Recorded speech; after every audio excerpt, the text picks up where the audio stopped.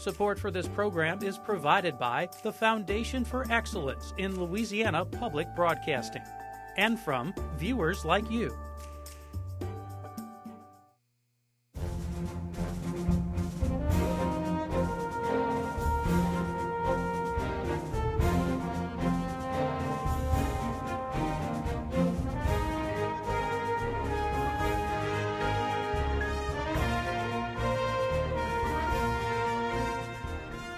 Hello and welcome to Louisiana Public Square. I'm Beth Courtney, president of LPB.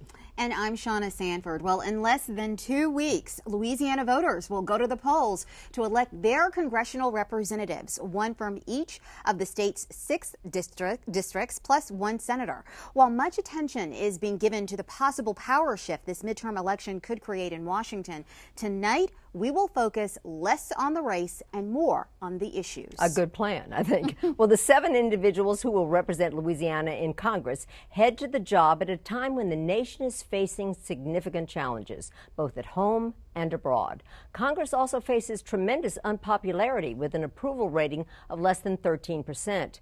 Tonight, Louisiana Public Square explores what issues matter to voters this midterm election and what should be Louisiana's congressional priorities.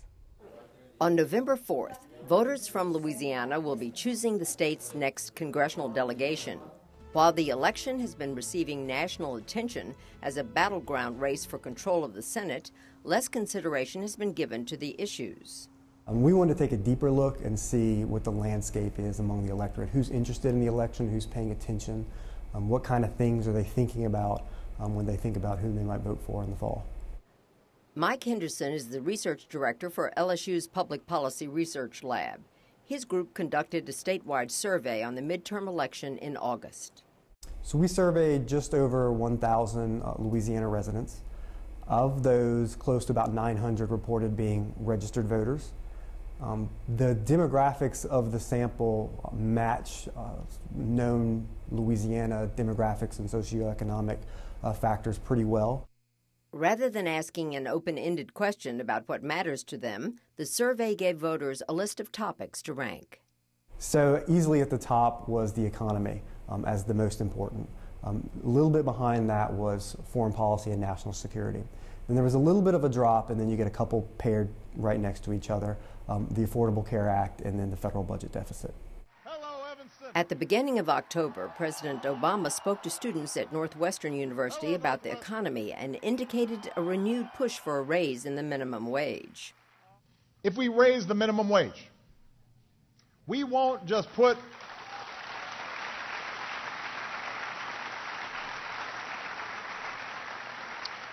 we won't just put more money in workers' pockets. They'll spend that money at local businesses. But Dr. Robert Newman, chair of the economics department at LSU, says such a move is bad for the economy since it discourages the hiring of low skilled workers. It has the perverse effect of actually increasing the poverty rate. What it does is transfer income from one group of low skilled, low income workers to another group of low skilled, low income workers. So it doesn't reduce the, the level of poverty, and it certainly doesn't improve their uh, well being. The next Congress may also be addressing the gender pay gap. The National Partnership for Women and Families recently ranked Louisiana as having the worst wage gap for women, 34% less than men on average. But Dr. Newman says the report hides more information than it reveals. What it doesn't take into account is a significant difference in the occupations that women and men choose to enter. Um, so once you take all of that into account, uh, most of that gap disappears. When it comes to foreign policy and national security issues, the battle against the Islamic militant group ISIS is the most pressing. At the end of September, the president carried out airstrikes against the group without congressional approval. Obama has ruled out the use of ground troops, but a CNN poll finds that 75% of Americans see this as inevitable. So you're not going to see this massive buildup and, and you know a large ground invasion. What you would more likely see is something akin to you know special forces, small groups of soldiers being used, uh, although we're probably a little bit far away from that. LSU political scientist David Sobek says the next Congress may also need to address continued tensions between Ukraine and Russia.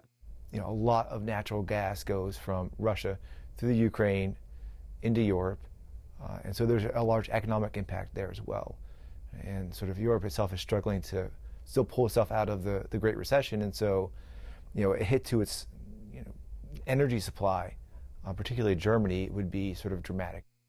A problematic rollout of the Affordable Care Act has left 58% of Louisianians with an unfavorable view of the law.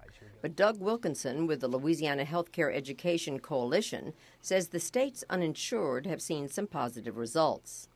Well, in Louisiana, we had in 2013, we had 489,000 people that were eligible for health care. They were basically uninsured and they were eligible for the marketplace. We've had 101,000 actually signed up and get a plan. Wilkinson says new open enrollment starts November 15th, just months before the penalty for uninsured individuals increases.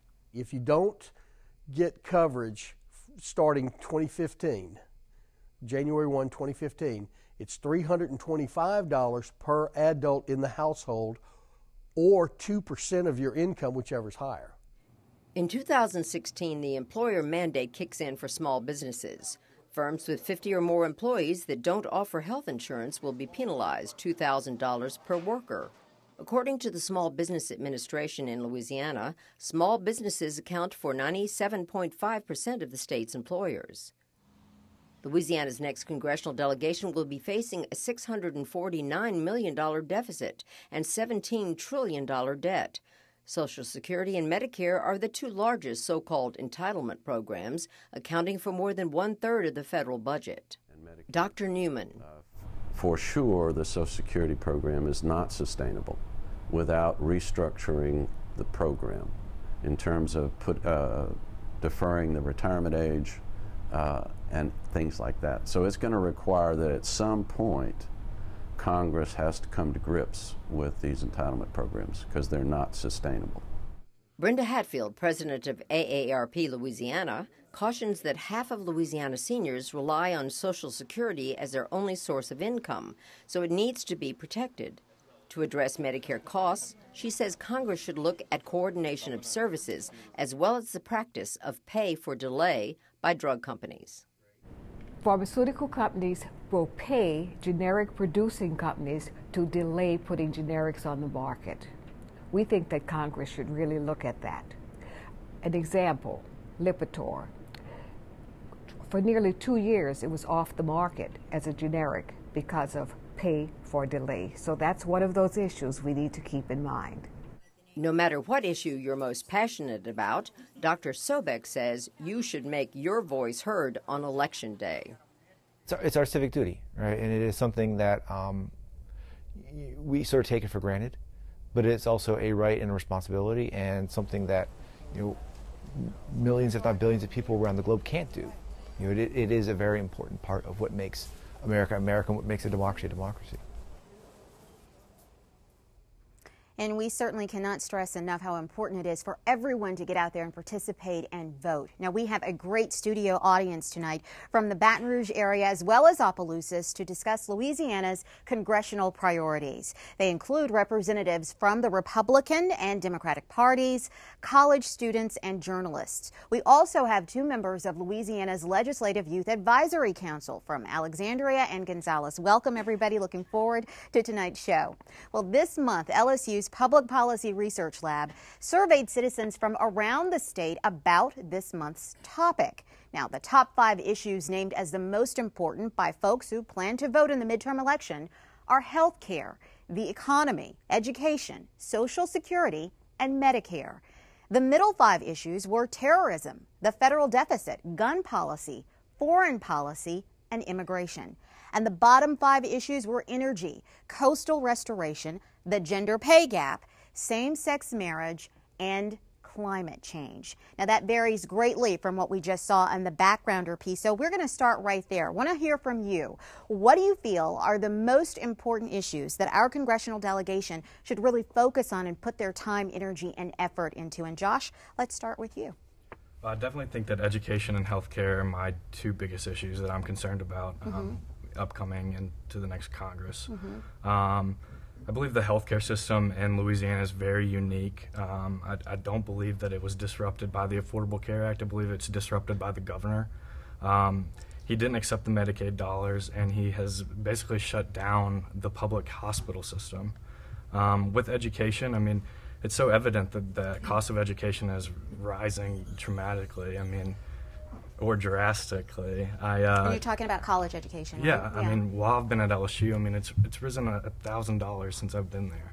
Um, you concerned about how much debt you're going to have when you graduate? oh yeah, I mean, I already have a more student loan debt than I'd like to mention, and you know, I work, and I shouldn't have to worry about what I'm going to do after college. Mm-hmm. Um, I, I should be focused on making good grades and being successful after, and I shouldn't have to worry about student loan debt. Well, you're not alone because there are a lot of students out there who are very concerned about that very issue. Missy, what are you concerned about? Well, um, I- was thinking about education as well, but just K 12 and higher education because I work in higher education. So I see students getting out with lots of loans. But I, I was wondering, you know, what can our congressional delegation do to get more funding into our state for education at all levels, for financial assistance, um, for programming, and and not have it tied to things, not have it mandated, not have the strings attached to it. Give it to the state and then let the state spend it like we feel like it needs to be spent for our, our children and for our, our young adults coming into the college system. When you say not tied to things, are you referencing Common Core? well, that's one of the things. But you know, e- every time we get something on our campus, it's always it, it's never unrestricted to use what we need it most for. It's always tied to something, mm-hmm. and so. If they could give the money to the systems, let us figure out what we want to do with them or what we need most, and then do that because I think that would better serve the students at all levels, K through higher ed. Mm-hmm. Kermit, you are with the Republican Party? My well, I am I am a Republican. Yes. Okay. Uh, my concern is the overregulation has really stifled a lot of economic development here in the U.S. I particularly work with the chem- mostly chemical, plastics refining industries, uh, with smaller companies, and uh, and uh, for instance, one company based in Rhode Island cannot start manufacturing a new uh, product made 100% out of renewables, even though they've passed all the toxicity testing because the EPA has not approved it in, fi- in five years. Every previous administration, 90 days minimum, that would have been approved. What is it that you want to hear these candidates say that you haven't heard yet concerning I the want issue them that to you're roll most back. concerned There's, about? it's such a labyrinth. All the volumes and volumes of regulation. A small company doesn't have several floors of attorneys and and people like that to go through all this to figure out whether they're within legal bounds or not. So, how can you not be afoul of the law if if, if you don't have that? Well, um, we're really fortunate to have some young people here. It's always great to get their perspective. And Sarah, we want to hear from you. Tell us your, where you're from and uh, what school you attend and what grade you're in and what you're most concerned about. Um, I'm Sarah Laborde. I'm from Alexandria, Louisiana, and I attend Holy Savior Menard Central High School. And I think one of the issues that I'm really concerned with is the overspending that our government seems to have. I feel like if we set a budget, we need to stick to it, and instead of overspending, we need to see how we can cut back to where we can stop spending and going farther and farther into debt. Dwayne, what about you? Well, my name is Dwayne Bell. I uh, I attend the Math Science Arts Academy East, and I'm 16. I- I'm a junior. Uh, and for me, there are a lot of issues affecting our our society today. So it's it's kind of hard to come to one uh, conclusion. Issue? Yeah, there's so many. Exactly, but um, just what I what I want to see out of the next Congress is just ladders of opportunity provided to um, more Americans. Yeah. I like the idea of healthcare being provided to more uh, Americans because what is it now eight eight million over eight million now who are uninsured now have health healthcare. I like that. Um, And you're paying I like close attention to it. I, I am because Yeah. I have I have family members. My father passed away last year from a heart attack. He didn't have he didn't have health care. Hmm. I, I feel as if if if that if he would have had the health care he needed, Mm-hmm. he probably could have survived. Yeah, so this hits very close to home for that, you. That does hit close to home. Elizabeth, you're hearing uh, what folks are saying. You cover this. This is you are a journalist. You're with the Advocate. So tell us, what do you make of what you're hearing? Um, I definitely, you know, talking to uh, voters, potential voters, it definitely seems to kind of mimic the um, LSU research. A lot of people are really focused on the economy, and I think for a lot of people, a lot of people know somebody who has lost their job, Mhm. who's unemployed right now, has been unemployed and can't find work.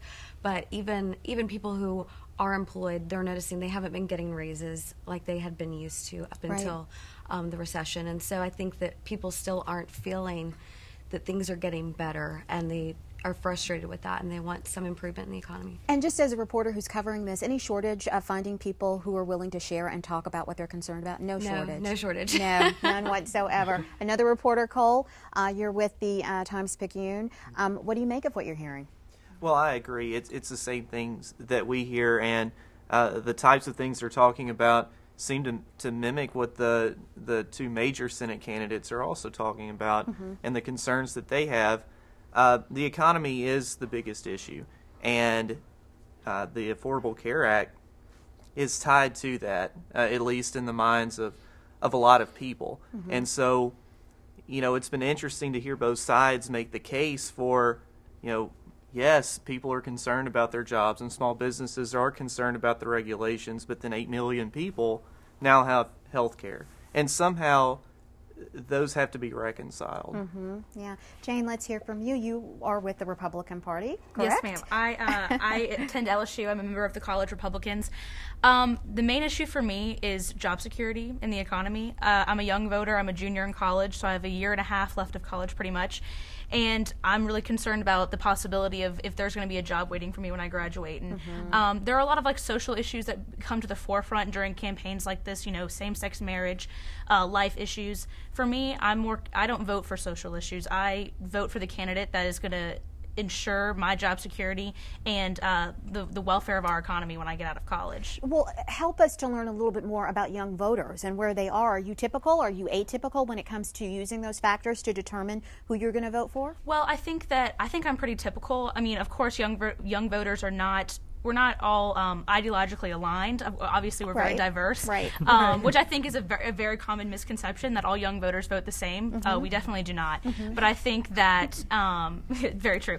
Um, but I think that all of us are very concerned about the economy because you know a lot of us have part-time jobs. I know I do, and I and we spend time on internships and looking for other jobs after college. And really, it's just a matter of you know if if that's for sure. I feel like in my parents' generation, it was very you know great chance that they were going to have a really great job waiting for them after college. For me, it's a little bit more questionable. And uh, I'm a political science major, so I might ha- I most probably will have a job in government. So you know that's a little iffy, but um, but still, it's just a matter of having a job after college. Okay, John, what about you? What are your top concerns? Um, I think that one that's commonly overlooked is the coastal restoration issue. Um, I Mhm. think a lot of it stems from a lack of awareness. Um, I don't think a lot of people understand that if you looked at the coast as an economic asset, it would have hundreds of billions of dollars worth of um, value. Um, Why is that on your radar?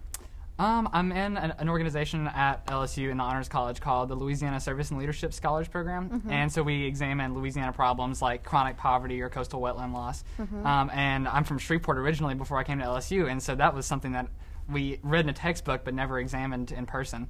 Um, and we've gone to the wetlands, looked at it, met with experts, um, and the money that we need to finance the Coast 2050 plan. Um, which is tens of billions of dollars, is money that sim- Louisiana simply doesn't have. Yeah. Um, so it's going to take someone from Congress, from Louisiana, to, to acquire those funds. Well, we love Shreveport. We were just there. They hosted our city. debate at Centenary. It's a wonderful city. I actually grew up there, so uh, love Shreveport. Sarah, uh, you're from Southern University. Yes, you ma'am. are uh, VP of the SGA. Is that right? ma'am. A Yes, lot of initials there, huh? Uh, yeah. but I got it in. What are you concerned about? Um, mainly as the Student Government Association vice president, I mean, it's really something to see your student body stressing over how they're going to pay all that student loan debt back. Mhm. I mean, it's going back to Josh's comment.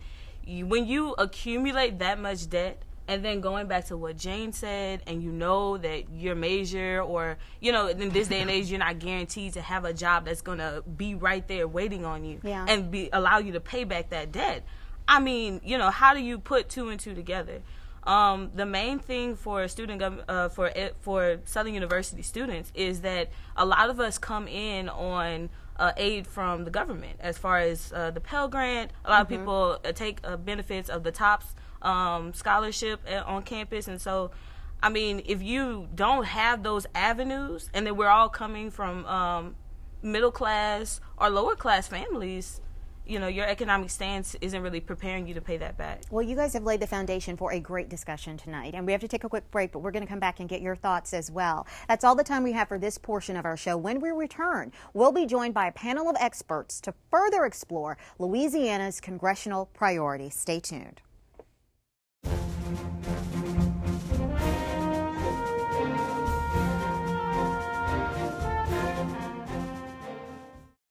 Welcome back to Louisiana Public Square. Tonight, we're discussing what Louisiana's congressional priorities should be going into the midterm election. Joining me now is our panel of experts. Jan Moller is the director of the Louisiana Budget Project. He's an award winning journalist, formerly with the New Orleans Times Picayune State Capitol Bureau. Stephen Waguespack is the president of the Louisiana Association of Business and Industry. LAB is the largest advocacy organization in the state with more than 2,500 members. Dr. Pearson Cross teaches in the political science department at the University of Louisiana at Lafayette. His principal areas of interest are state, local, southern, and Louisiana politics. And Dr. James Richardson is a professor of economics and director of the Public Administration Institute in the E.J. Ourso College of Business at LSU. Thank you all so much for being here tonight. Um, I know you had a chance to hear a little bit beforehand, and they have really started us off on a great discussion tonight. So before we go to our audience, though, Jan, we'll start with you. What do you feel should be the top priorities of the next congressional delegation? Uh, well, I think uh, the people in Louisiana were right to identify the economy as the top priority. And uh, the economy, uh, you know, has worked very well for corporations, for companies. Uh, the stock market has done very well. The problem is it hasn't worked for a lot of people in the middle and the bottom of the income scale. So I'm not surprised that people are very concerned about that. And there are some things that Congress can do uh, about this. One of them, of course, is raising the minimum wage, which in Louisiana, if we raised it to 10.10 an hour, as the president has proposed, would uh, give 360,000 people a direct raise immediately if that was done. We could also work to expand the earned income tax credit, which is something I think has bipartisan support on Capitol Hill, has been supported with, uh, by presidents from Ronald Reagan to Bill Clinton. And this is something that we could uh, do to help uh, make sure that people who, who work hard, play by the rules, can actually earn a decent wage and stay above the poverty line. Well, Stephen, let's get your thoughts. I mean, Jan just mentioned raising the minimum wage. Would your folks agree with that? Well, my thoughts on what Congress's priorities should be are a little bit different. I, I think over the last several years, we've seen the federal government really, you know, broaden its reach and really get into a lot of the daily lives of, of every you know U.S. citizen. And I thought Kermit in the early uh, part of the program really mentioned it. The, the influx of regulations and mandates that we're seeing come from the federal government is a huge concern to our members. And so if I look at the congressional priorities, I think we would like to see the government start taking their, their tentacles off of the economy a little bit and let it grow and prosper the way that I think the, a healthy economy does on the minimum wage issue, uh, our members have a concern with that. And I think the biggest reason why is because those people that it tries to help the most, our research shows it actually hurts the most. You know, if you raise that minimum wage, what's going to happen is you're going to end up making it harder for a small business, a small employer, to keep a lot of those employees, in, you know, employed. Mm-hmm. And so, you know, to be able to account for that, they're either going to have to hire less people or raise the cost in goods and services and that hits people who are low income harder than anything. So we think it's a good intention idea with a really bad output. Okay, Dr. Cross. Well, I think there are a number of issues facing Congress, but the issue, it strikes me that it's time for some sort of a deal, perhaps a deal on uh, the minimum wage tied to changes in corporate tax rate, for example. Uh, if you'd lower the American corporate tax rate that uh, that companies pay from 35 down to say an average of 25 or something, and then raise that minimum wage and then peg it uh, to a cost of living so it stays at a standard and doesn't start losing value. But I think just recently, uh, the events in the news have suggested that we need the national government to be more powerful than ever to face the threats of Ebola coming in, to uh, you know ISIS over in the Middle East and so on. We need an activist federal government, and all the squabbling, excuse me, that Congress and the president are doing are counterproductive. Yeah, and your thoughts? I wish I had a very simple answer, but it's not. it's a very complicated answer, and that is, if you really want to make the government more efficient, more more effective, you have to make things a little bit simpler. Probably that means probably major tax reform, such as Pearson was saying. Corporate taxes are out of kilter, really. The way they encourage businesses to go overseas, they're not doing the businesses not doing anything bad. They're doing what essentially their the numbers tell them to do. So I think you need to look at the tax system, which is extremely complicated and can be much simpler for large companies and also for individuals, middle class, higher income, lower income individuals as well. I think number two, you have to get past, we, we really have to get past the health care debate. People talk about we want to repeal and replace uh, Obamacare mm-hmm. and replace. Mm-hmm. It, it's, it, repealing it is not going to happen. Revising it can happen. But repealing is not going to happen because it's too complicated to just go back to where we were in 2010. It's not going to happen. We need to say, how would we revise it to make it a more effective system? And then I think on, on things like the minimum wage, I think the idea of the minimum wage is not going to end the poverty issue at all. It may help a few people. It could. And it, it will. It will. It will also hurt a few people as well. Typically, it's going to probably help more than it hurts but it is going to it's, it's going to and i think there you can make a deal on that it, if you raise it real high you're going to have real bad problems. You make it a small dent in it, even going up to, I think John said, Jan said up to $10. That's not going to put the world, that's not going to be a major setback, but certainly it will have some bad effects for some, on some small businesses. And I think the other thing you'll discover is that in government, at the federal level, or state level, local level, you do something, there are going to be some good sides and there are going to be some bad sides. And what you want to do is find that combination that it has more good sides, a lot more good in outcomes than you have bad outcomes. Okay, let's let our audience jump in. And Kyle, I want to start with you. What are what is your focus, and what's your question for our panelists? I think everyone is everyone has hit um, the economy as a very central aspect of this congressional election, uh, and I think a, a, subset inside of that is this issue of income inequality. Uh, you know, here in the state of Louisiana, we seem to have this uh, odd juxtaposition uh, in that we're a very poor state, and we've been a we've been a chronically poor state in terms of wages. Uh, however, we seem to always have an unemployment rate uh, either below or close to the national average. Now, I find it interesting that in a state that has an unemployment rate lower than the national average, there's so much systemic poverty. Now, that seems to me that there's a, a, a real inequality in wages. Mm-hmm. The simple fact of the matter that someone works 40 hours a week all year round and still lives in poverty uh, indicates that there's a real problem in the wages that they make. Mm-hmm. So I think uh, agreeing with Jan that the minimum wage, along with the earned income tax credit expansion, would be a great step forward. Jan, let's start with you because he talked about uh, income inequality, and Dr. Richardson just uh, uh, made some comments about that. So, what do you say? I, I, agree with Kyle. I think uh, the minimum wage is important to raise, uh, and I want to go back to one point. Uh, you know, people say it will hurt jobs. Thirteen states uh, in America raised their minimum wage on January 1st of this year, and they've actually seen faster job growth than the states that didn't raise their minimum wage.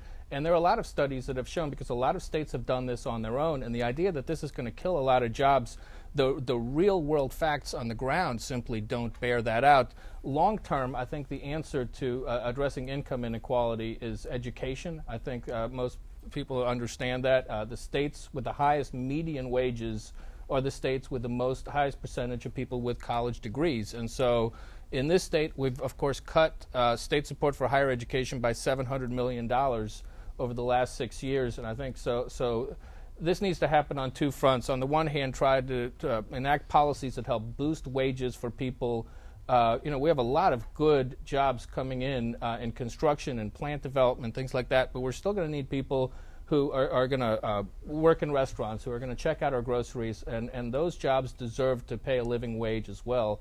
Long term, I think there needs to be more investments in education, starting really at birth and going all the way through college. Well, Jan, you just said something, and I want to get um, Stephen and um, and uh, Dr. Richardson here to comment on what he just m- mentioned about states where they have actually raised the minimum wage, in terms of job growth versus those states that have not. I mean, it flies in the face of what you've just said. No, healthy markets create healthy wages and opportunity. That, that, that is a firm belief that I have.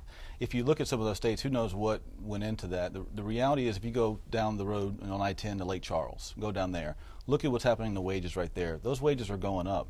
It's because you have a healthy economy, you have a lot of investment. You've got over $60 billion in new investment going on in Lake Charles. What's happening is the entire community is benefiting not just those that are going to work in the chemical and manufacturing industry, but those minimum wage jobs down the road that are going to provide the food and services for that. All of those wages are going up because that market is healthy, it's growing, it's expanding. In the state of Louisiana, we've got about 250,000 new jobs coming over the next couple of years. 69,000 of those are going to be STEM related jobs by 2018, according to LSU. That's science, That's technology, engineering, absolutely. math, right? Those are all real uh, high paying jobs coming in. If our students come out of school prepared for those jobs, they can go succeed. They're going to see their wage inflation go up. I think we're competing in a global economy. If we steal investment and jobs from other states and other countries and bring it here to Louisiana, you're going to see wage and opportunity go through the ceiling. I think that's the best way to raise wages. Dr. Richardson, uh, do we have the workforce ready and available to take advantage of the jobs? I mean, immigration is something that has not come up yet, but it is of interest and concern to people. What about that? I think, with respect to the, do we have enough people? if if the growth is as explosive as we have been talking about or thinking about, there's no way we have enough people in the state to handle all those jobs. We will import people, which is not bad, because you want us to grow, and you want us to grow as a state in terms of income, in terms of employment, in terms of population. We always I always say the the best goal for a governor is we should get back one of our congressional seats. Remember, we used to have eight. We had seven. Now we have six. Right, right. If the next governor got back to number seven, I would say that guy deserves a gold star. because that's the way you really measure progress. We have really are growing. And, and that's not going to be because we're reproducing here faster than anybody else. It's going to be because we're having people move into the state because they say this is a great place, a great market. This is going to be something we have to do ourselves. I think from a congressional perspective, though, uh-huh. what do they do about it? Well, I, I, I think, to be quite honest, very little.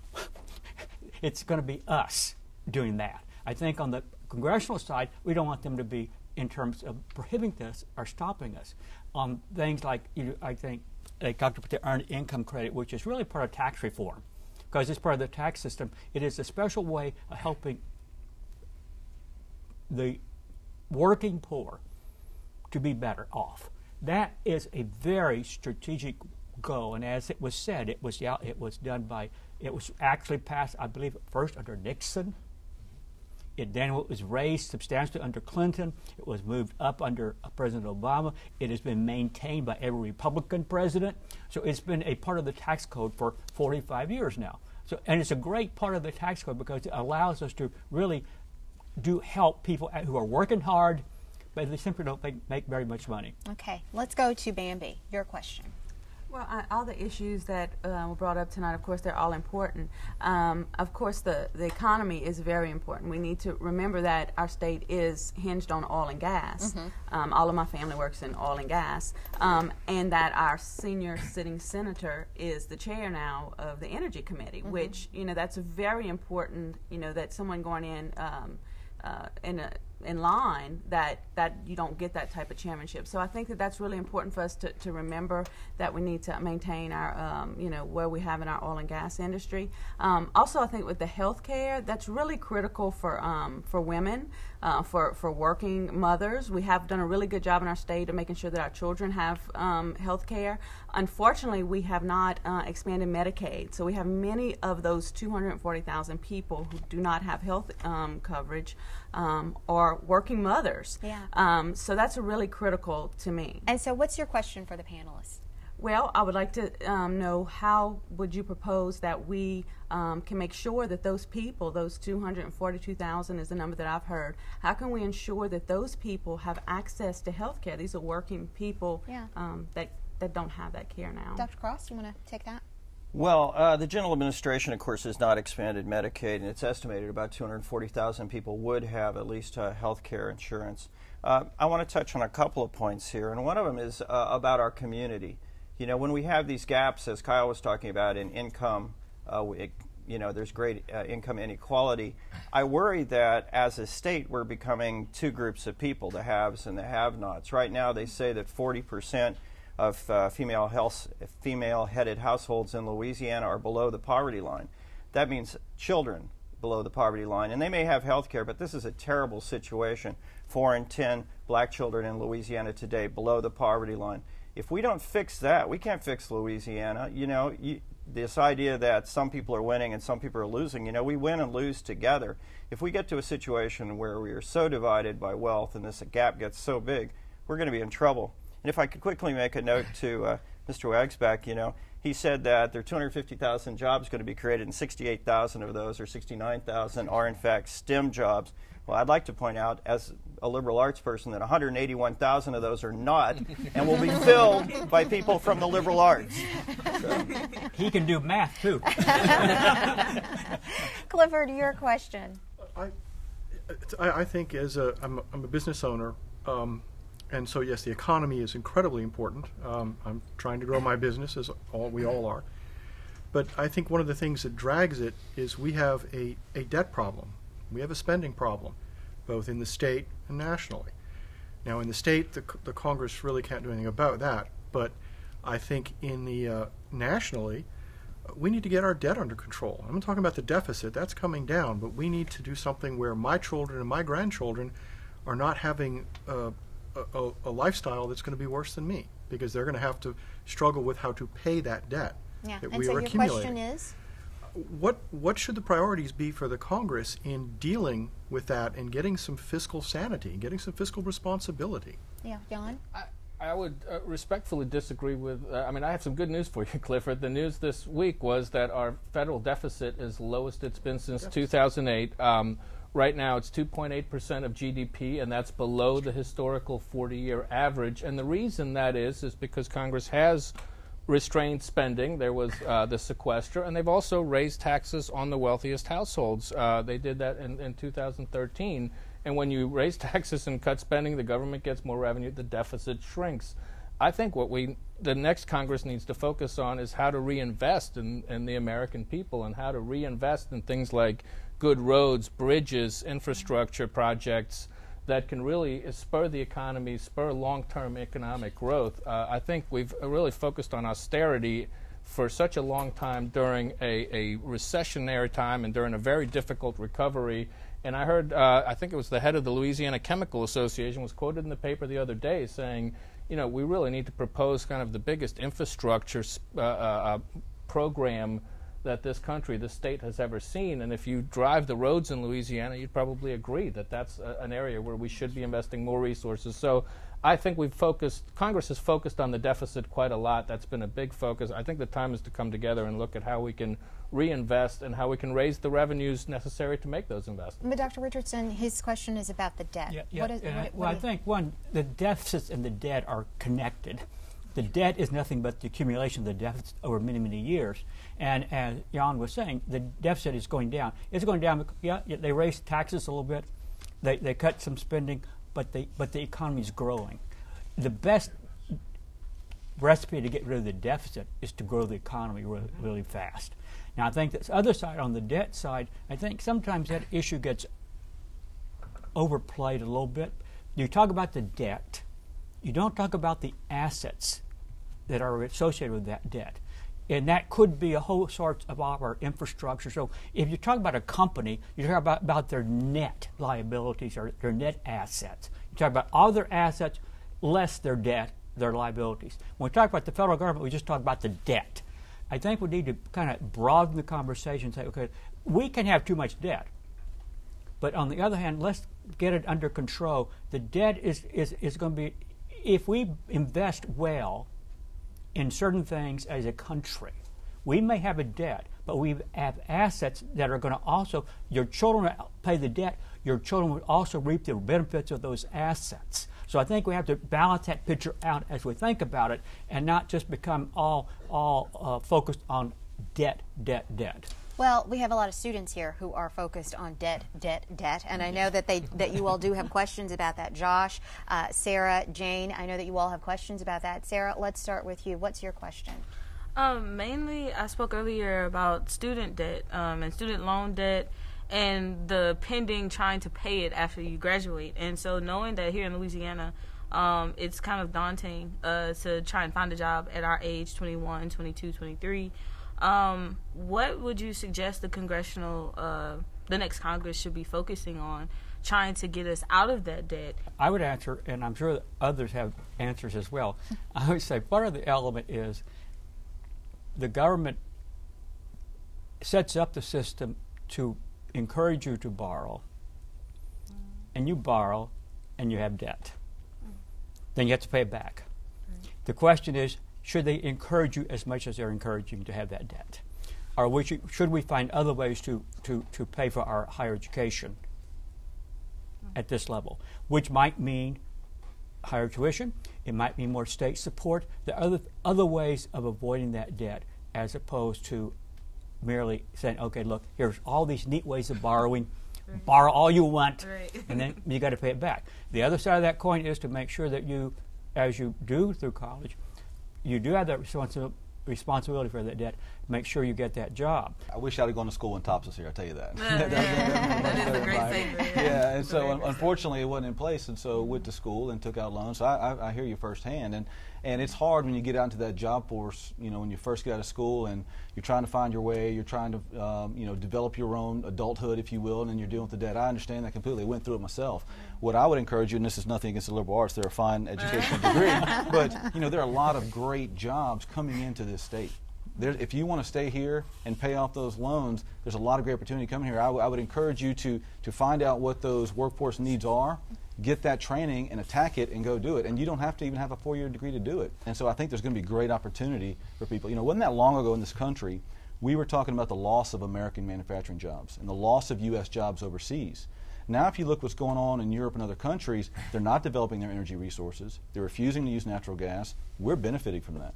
Our energy supply is allowing us to bring those jobs back to our shores the best thing we can do in Congress is convince Europe to continue to put their head in the sand on these issues because they are driving jobs to our shores. And let me That's going to help our economy on that. Go ahead and, and get in briefly because we're going to move on to briefly, another topic. Just in terms of uh, uh, the amount of debt you have, you know, one of the things Congress could do is they could lower the interest rate on the debt, you know, mm-hmm. and they could consider that an investment in people who are trying to better themselves by getting a college degree. It strikes me as inconceivable that we, we basically guarantee a profit margin to those people who supply money for people to go to school. And if we're going to guarantee that profit margin, it ought to be way down as far as I'm concerned. So profiteering, getting 8, 10% or whatever on student debt, that's crazy. Well, let's go to Elizabeth and let's talk about something that your question is about, and that's about ISIS and uh, the military. um, it was it was brought up just briefly, but I am kind of curious what um, the panel thinks lately we uh, it just seems like in recent weeks we're starting to hear a lot more about isis and ebola mm-hmm. um, it's really kind of grabbed national attention so i'm just kind of curious um, especially this late in the election um, what impact if any will those two issues have yeah. You know, typically when a, when a an administration uh, has uh, national security concerns right at the right at the time of an election, it's a benefit for the administration because the administration can take action, can appear strong, people rally to the flag, and so on. But in this case, uh, Obama has taken so much heat for his handling or lack of handling ISIS and Ebola and so on that, in fact, it seems to be working for the other party that there's this instability. Uh, in times past, in crises, you know, there's been this rally effect, but we're not seeing the rally effect right now, and it's kind of a little bit of a different thing in American politics. Yes. also, I think you hit on there's certain things we say the federal government is in charge of. National security is one of those things. That's their responsibility. No state, regardless of how big it is, has that responsibility. That's the national government. I think on that situation, we have to look for them for leadership and for guidance. And we have decide. And I think there you find it's kind of interesting that even in Congress, it's not a party issue. It's a philosophical issue that may trans jump over parties. And on how much effort should we be in the Middle East? What's our responsibility? And I think that's a tremendous debate. And I don't think it's over yet. Yeah, well, and I think you've spurred Jan, uh, who has a comment now. I would just say, I mean, if I were a member of Congress and, and looking at the Ebola crisis, I would say it's not my job to fix Ebola, or uh, but it is my job to make sure the Centers for Disease Control has all the funding it needs mm. to do its job. And we have experts uh, who are trained in, in handling these kinds of things and and they need proper funding and they need support and then I think they need Congress to get out of the way and, and let them do their jobs. Yes, if, I, if I could just follow up with that, I mean I am kind of curious just if it is going to have any impact here in Louisiana. It seems like a lot of this election has been, especially in a state that leans Republican, a lot of it has been against President Obama. A lot of the election has been running against Obama instead of necessarily running against the candidate mm-hmm, who's in the mm-hmm. race. Mm-hmm. And it seems like these are two things that kind of have presented another opportunity for people to run against Obama when they're running for Congress. And so I'm just kind of curious um, whether any of you think that that uh, has the potential to resonate. There are some, and I would be one of them, who would say that when you look at issues like the Ukraine, if you look at issues like ISIS, if you look at issues like Ebola, there appears to be a tentative approach from this administration mm-hmm. on some of those issues. And that is a concern. And so I think in this election that will come up. I think in those in those moments of crisis, no matter what they are, if it's a, if it's an overseas battle, if it's a disease that we can't issue, people want decisive action and they want to have confidence. I think that is a void that's not happening right now in these issues. And so, again, that's my personal opinion. Other people may view it differently, but I think that will be an issue in the election. Well, I would say one thing, uh, and I, Stephen, I, I, Stephen's comment, I, I agree with to the point. My only problem is, is what do you mean by decisive action? And I don't think we can agree on that. I don't think I don't think the Congress can. I don't think the American public. You look at the polls. The American public very divided. And again, it's not by political party necessarily. It's not by region necessarily. It's by some sense of what should we be doing, and we don't know, and we aren't really sure how far we want to go, and put our little finger in the water. Okay, a little bit more, a little bit more. Will we get pulled in all the way? I think people are very concerned about that. Very quickly. It, yes. it, it may be a little bit how the Supreme Court defines pornography. I can't define it, but I know it when yeah, I see yeah, it. well, you know, talking about another topic where it seems people are running against the president, it's health care um, and the Affordable Care Act. You talked a little bit yes. about this earlier, and Kyle, I believe that you mentioned something about this earlier as well. How does that factor into uh, the election in terms of setting the priorities for uh, our next congressional delegation? Dr. Richardson, you mentioned Obamacare, the Affordable Care Act, is not going to be repealed. Changes may be made, but it's not going to be repealed. But that is what we hear over and over and over again that it's going to be repealed and replaced. Yes. But if you read the polls, certainly in Louisiana, that's the popular line. Right. And I, I agree with that. I think, as a practical matter, and I would imagine that there, if you're talking about repealing it, you're talking about going back to January 2010. Take all the rules off the books. That's pre existing conditions. That's raising the age of people of children on, on their parents' insurance to 26. You got a whole list of things that are not, not going to be repealed. I'm sorry. It's going to happen. It's going to stay on the books. Now, at the margin, there will be some changes in it. And indeed, probably, and I think this is where President Obama has made a mistake. He should have t- embraced some of these changes and say, we want to make some changes. Let's go.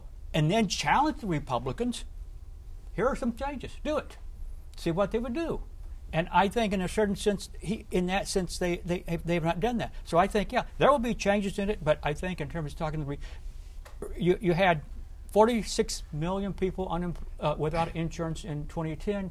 You're now have reduced that by 8 or 9 million people. You're not going to put those 8 or 9 million people back on the uninsured side. Jan, your thoughts, yeah.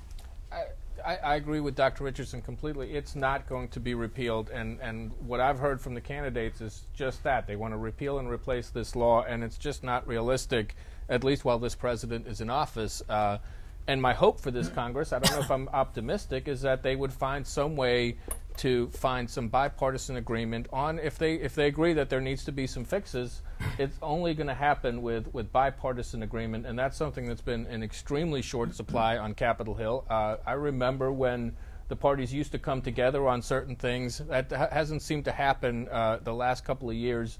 But the fact is that uh, as long as President Obama has a veto pen, the Republicans aren't going to have enough votes to override that veto. So the only way you get something done and signed by the president is if you find some common ground in the middle. Uh, I really would hope that that could happen. I'm not very optimistic that it's going to happen in the next two years, unfortunately. Can, can I just say that although no law is perfect, we can't go back to the time when, you know, a child couldn't be covered for a pre-existing condition, or a woman could be charged more just for being a woman. Now I keep hearing repeal and replace, but replace with what? Yeah. Exactly. There has been no plan proposed for to, to, to have uh, folks who are uninsured be insured. Mm-hmm. So that's just a question I have for the right.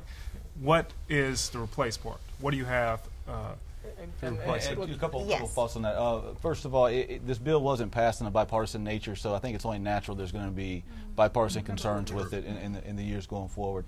The other piece is if you look at the very premise behind the bill, Basically, what it does is it takes a look at the country right now and says, okay, we have an employer based healthcare delivery model for the most part.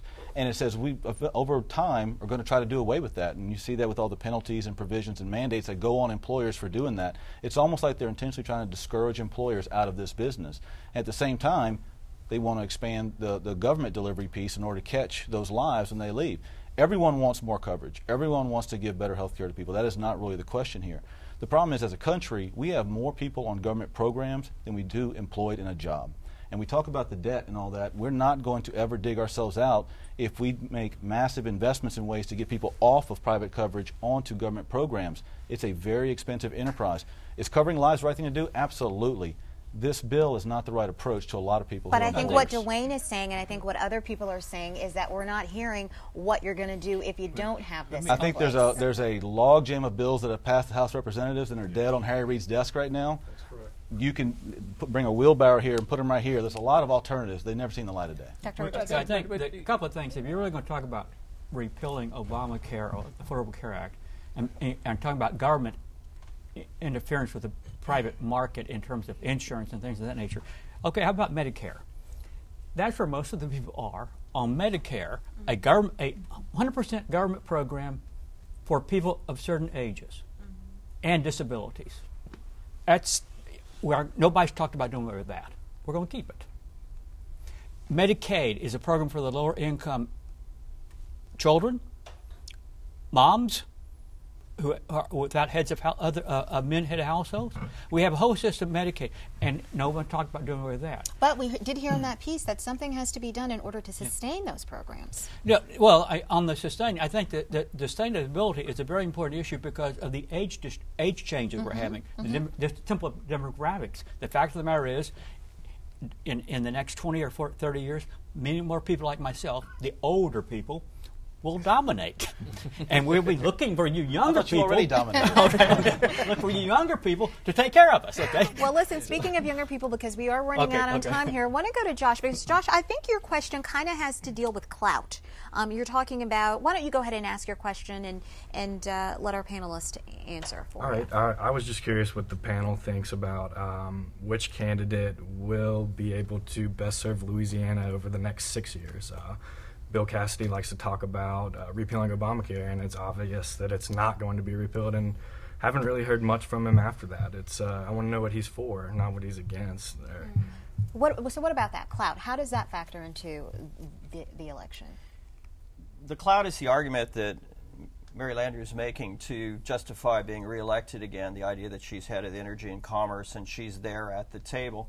Mary Landrieu is an oddity in the Senate. She is, uh, frankly, a fairly conservative Democrat, maybe the most conservative Democrat still left in the in the Senate, because as the Senate has become more polarized, like the rest of the country. The question is, as it's posed, would it be better to have a Republican Senate, even though we would lose essentially for Louisiana the chairmanship of that Energy Committee?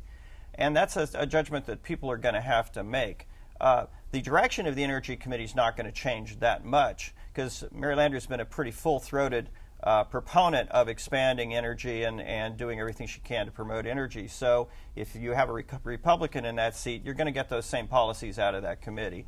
So not much is going to change there. But in terms of seniority, Mary Landrieu has been crucial at various times in getting things for the state. Sometimes she's been ridiculed for the effort, like when she got that $300 million as that side deal she cut. But other times she's really been in there slugging. But it could be that people in the state of Louisiana at the end of the day feel like a Republican Congress would more serve their interests that's something people are going to have to decide in this election. Well, when you look at the top three candidates, we really go from one end of the spectrum to the other because we have Mary Landrieu, who has been there for many years and has lots of experience. Um, Dr. Cassidy, Bill Cassidy, has been there and has experience. And then you have uh, the uh, other gentleman, Rob Maness. Thank you very much, uh, who has no experience. This is his first time, uh, first time jumping in. Um, so we've got the entire spectrum uh, covered there. Well, we actually don't. If we had a liberal Democrat, then you would have the entire spectrum covered. I mean, from my point of view, you've got a, a, moderate Democrat, a conservative Republican, and a very, very conservative Republican. So, uh, uh, but we do have the Louisiana spectrum covered. Yes, we do. And listen, we are almost completely out of time, so I just want to wrap up and get some final thoughts and make them very brief. And Jan, we'll start with you. Uh, like I said, I hope the, the top priority for the next Congress is breaking the bipartisan, uh, the partisan logjam, and, and hopefully find a way to help the middle class. Okay, Stephen. Uh, my, my short view is the global economy dominates. We are competing with other states and countries for jobs, and so I want whoever goes to Congress to have that firmly in their mind when they think, how can they help Louisiana compete in a, in a free market? Mm-hmm. Dr. Cross? Regardless of who wins the Senate, I think that the next two years shouldn't be wasted. We have serious problems facing this country, and we need to come together to the extent and get some deals, get something up on Obama's desk that he can sign that we can all live with. Dr. Richardson. If in in, in the final two two years, next two years, Congress, if they really do some good jobs, one I, I like to see just one bill passed. Uh, okay. that that takes a it's non, non a, a, bipartisan bill. We pass that one bill, but I really think they they really should come together and talk very seriously. Okay, we have a health care system. We got to take care of it. Let's figure out how to re revise, how to adjust. Let's do it right now. Let's not wait for another president or another congressional district, another election. Let's do it right now, as opposed to. Uh, just being at loggerheads all the time. Well, I knew we were going to have a great discussion. Thank you all so very okay. much, and thank you all. It's been wonderful. We are completely out of time for our question and answer segment, but we would like to thank all of our panelists, Jan Moller, Stephen Waguespack, Dr. Cross, and Dr. Richardson for their insight on this month's topic. Now, when we come back, we'll have a few closing comments, so stay tuned.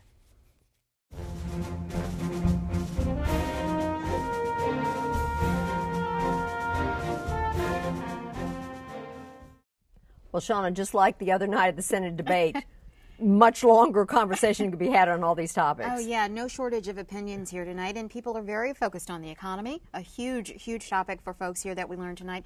Healthcare, debt, student debt, very, very big. I hope the candidates are watching and listening. Well, but we didn't talk about some of the things that are in all the commercials. Uh, certainly illegal immigration, yeah. closing the borders. We didn't talk about any of the big social issues that come up in all the commercials. Of course, one of the joys of public broadcasting is we don't have any of the political commercials, and that's all the time we have for this edition of Louisiana Public Square. We encourage you to visit our website at lpb.org slash public square. While you're there, take this month's survey, view additional sound bites, and comment on tonight's show. We would love to hear from you. And don't forget, in addition to the choice for representative and senator, there are 14 proposed constitutional amendments on the ballot as well. You can find more information on our webpage. That's right. Well, in Louisiana, nearly 15% of students who enter high school drop out, and only 72% graduate on time. Join us next month as Louisiana Public Square brings together teachers, policymakers, and innovators for Destination Graduation. Thanks so much for watching and have a great night. Good night, everyone.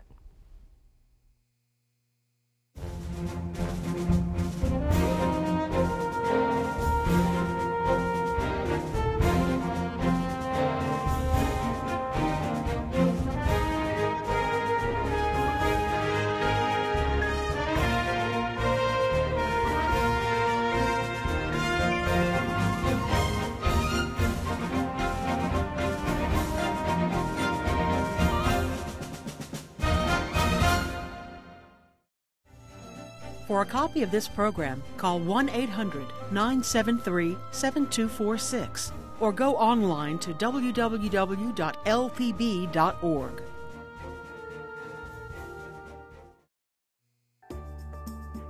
Support for this program is provided by the Foundation for Excellence in Louisiana Public Broadcasting and from viewers like you.